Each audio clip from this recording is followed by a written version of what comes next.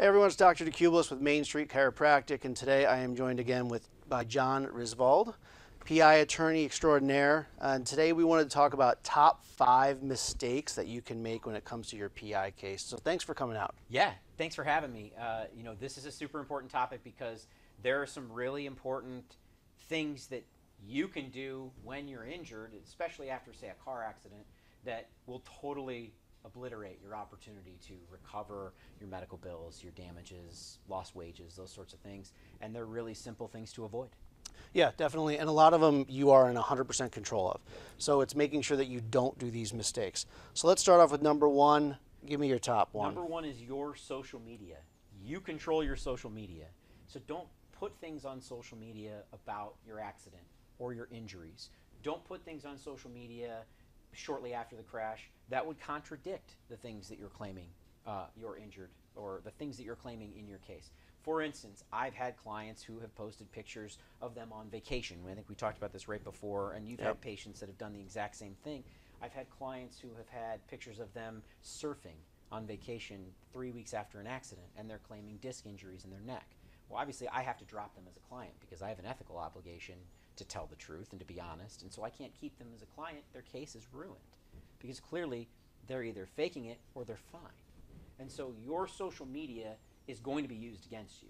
Good defense lawyers, good insurance companies, even bad insurance companies can find all this stuff. If you put it out on the internet, expect that it will be shown back to you and used against you. 100%.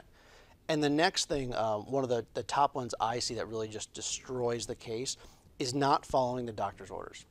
So if someone comes in, they get a diagnosis, and the doctor orders XYZ, whether, whether it be imaging that needs to be done, whether it be a treatment that needs to be done, whether it's taking off from work, whatever it is, if you don't follow those treatment protocols, then what's going to happen is the insurance company or the other party is going to say, well, you know what?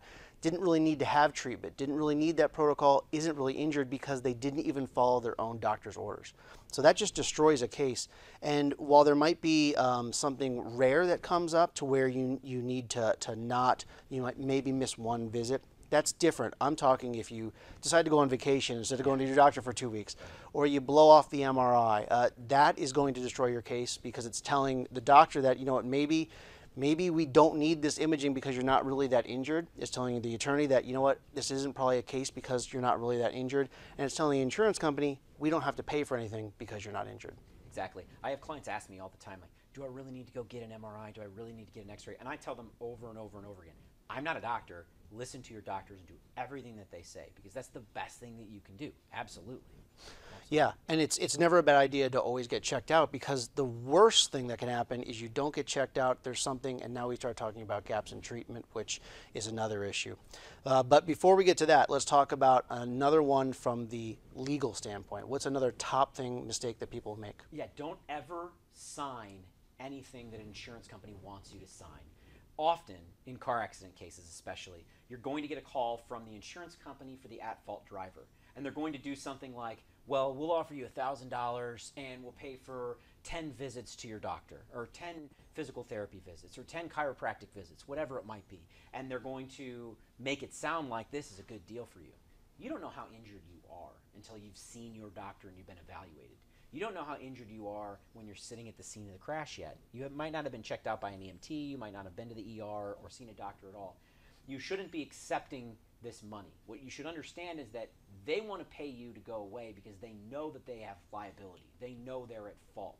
And so before you sign anything, bring it to a lawyer.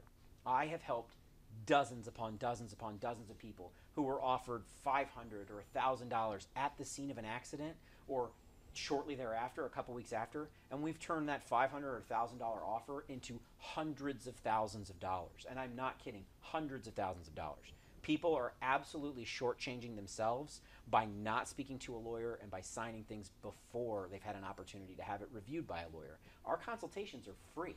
Come see me. It's free. Well, yeah, it's it's a great point too because at that point you have you don't even know what injuries you've sustained. You haven't really felt everything you're going to feel because you haven't been evaluated. So what's let's look at worst case scenario. Let's say we have a major disc herniation that needs surgery they only offered you 500 bucks. That surgery might cost $50,000 because it's not going to be covered under your insurance plan. Now you're out money for an accident you didn't even cause. Absolutely. So it's just never a good idea. Um, they're not, especially if they start saying that, well, this is only good for a limited time. That's red flags. Bells should be going off. This is something that you need to walk away from. Uh, you never want to put anything, uh, sign your name on anything. Absolutely. Anytime they put a time limit on it, be very wary. And you and I are going to talk uh, probably on another day or maybe even later today about the statute of limitations and how important that is. But there is not a short 30 day or two week or one week time limit on your cases, your claims, or your injuries. That's not how it works in Illinois, and you need to make sure you talk to a doctor and a lawyer right away. Definitely.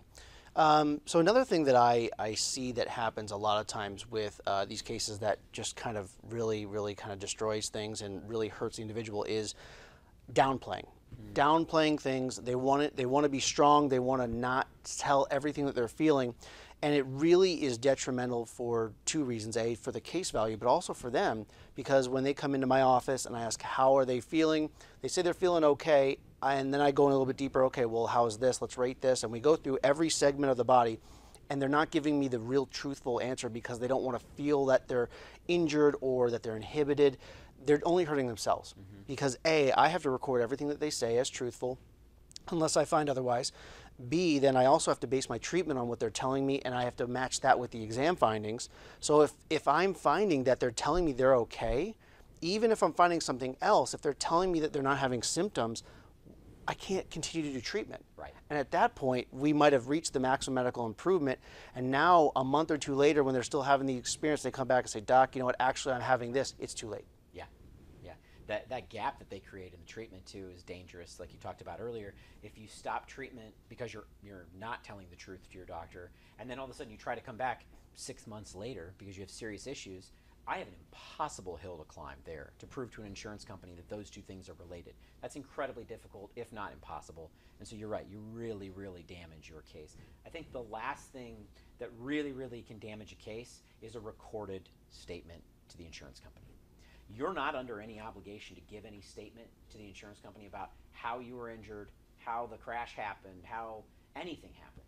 In fact, don't you know, there's an old saying on the criminal side that anything you say can and will be used against you in a court of law, right? Like yep. we all know this, we have it memorized. Um, those are your Miranda rights. But in a civil suit, that is a thousand percent true as well. The insurance company does not work for you. You are not in good hands. They are not a good neighbor. They're working against you. They're working to protect their money. They're building a case to take money out of your pocket and to make sure that your bills don't get paid. And the number one way they're going to do that is by effectively having you sit for a sworn statement and then using your statements against you later when you eventually hire a lawyer or try to negotiate your claim. They're going to say, "Well, you gave this statement right after the crash, and you said that you were just kind of sore. You weren't really that injured. You didn't. You're in a state of shock, maybe right afterwards, yep. and the pain doesn't appear until later, right? Pain is a tricky thing. It's not, you know, instant always. Sometimes it ebbs, sometimes it flows, sometimes it appears later. And so your recorded statement is just creating damaging evidence for your case. And on that note, I just want to make sure that everyone understands always assume the conversation is recorded. Mm-hmm. Always assume. So if you're talking to an insurance uh, adjuster, agent, whatever it might be, just assume it's it's recorded and make sure you say as little as possible because, like you said, you're under no obligation to talk with them. So last thing I want to bring up point as when it comes to the pain, this is what I find is that people um, will will have uh, after an injury they'll have a pain, let's say in their low back, and then um, they'll start having pain elsewhere in their body. They don't talk about it because they don't think it's linked. And because of that, it doesn't get recorded. There's no diagnosis based on that. And then there's no treatment based on that, too. And it's, it's a really big issue because there is this thing called the gating mechanism. So, what your body does is it tries to create as little pain and pressure on that area that's injured as possible. So, if it has to have you, let's say we have an injury to the left side of your low back, mm-hmm. it will have you bend to the right side to take that pressure away. However, in your middle back or thoracic spine, you'll bend back to the other side to keep your center of gravity so you're walking upright. So it makes sense that we would then have pain that kind of shifts around depending on what you're doing. It's all related to the original injury. But if you don't mention it, we can't look for it, we can't find it. So one thing that I like to do is I make sure that even if we only have a complaint in one area, we do a complete review of the whole body and ask specific questions because sometimes too what happens with the body is if you have an 8 out of 10 in your left knee, you don't feel the three in your right shoulder. Sure. So we got to make sure we ask specific questions to get everything because once this starts to get better and this goes down to a two, now you feel the three. It was always there, but because we didn't record it, you didn't mention it. If we don't know what we're doing, we can't talk about it a month or two later. Yeah, that becomes very difficult. I really think you know we really could talk about this topic all day, and the reason is is because while you might be the smartest person in the room after a car accident, you're not a professional. I'm a professional negotiator and a professional trial attorney. I bring cases before juries and I negotiate every single day. And you're a doctor. I mean, we've had years and years of training to do this. And I say that to say you can hire experts. Think of how many lawyers and how many doctors, how many experts these billion, trillion dollar corporate uh, insurance companies have. They have big, tall glass buildings in major cities for a reason. It's because they've got infinity dollars.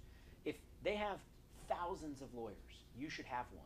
They have thousands of doctors and nurses and medical professionals who are reviewing records and looking at bills. You should have the best doctors and the best lawyers you can find. And the beautiful thing is, if you work with a good PI lawyer and a good doctor, you're not paying any money out of pocket. Your health insurance is covering it, there's liens to cover it, and I work on what's called a contingency. So I only ever get paid if I win.